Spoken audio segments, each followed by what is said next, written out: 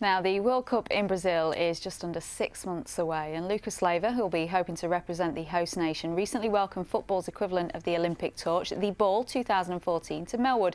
Since 2002, every four years, the ball travels to the FIFA World Cup. En route to Brazil, it will travel through Europe and the Americas, visiting schools, organisations, and football clubs, highlighting along the way the diverse range of community football projects being delivered. It's about one simple ball that travels around the world, meets people, connects with people, and then we bring those, the, the, the messages, the places, the cultures uh, into a really interactive education project called One Ball, One World, where the children learn about those, you know, those other places, countries, geographies, histories, and um, and, they, and then they play a kind of football, a fair play football, you know, where shaking hands is important, being honest, respect, all of those kinds of things, you know, that's, that's what the, the ball is about and that's what our project is about. I mean, the foundation is all about bringing positive change into people's lives. And this is a really positive little project, isn't it? To push a ball around the world, to engage with different communities, and to use football as a means of, of highlighting different issues. So we've got a couple of schools here today.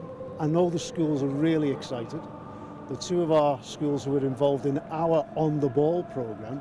So there's a nice link.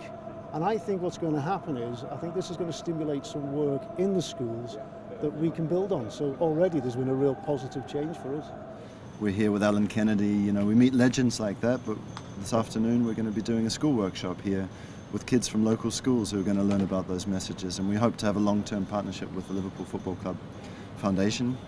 Um, and we hope that the kids here will learn about the previous journeys and join us the rest of the way. You know, meet the people we're meeting. If it's um, inner city kids in Chicago, if it's Special Olympics athletes all the way through Central South America, um, if it's you know superstars of the game when, when we're visiting Barcelona.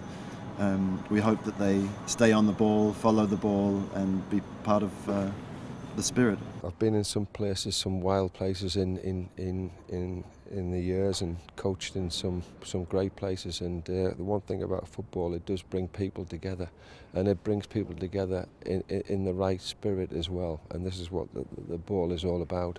Um, it's all nice to play in places like this, uh, but like you know, where does it start? It starts in a on a, on a football pitch, and, and, and you may not have e, even grass on it. Um, and you, you know you, you you decide who plays against who, like you know. But the spirit is uh, very much there. I think it's great for football in general that we're, we're doing something like this.